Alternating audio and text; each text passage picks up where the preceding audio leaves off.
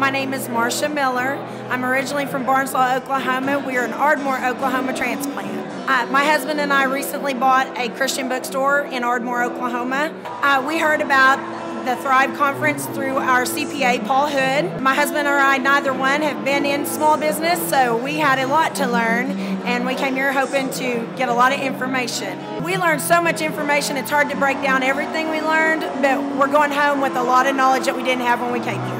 Really liked that it was fast paced there was a lot of information that was very specific that we did not know or understand, and we're going home with a lot better knowledge than we came in with. We really like that Clay's funny and that he's fast paced. He kept you hooked the whole time, and you just wanted to keep listening. We really like it here. It's uh, a lot of information, it's fun.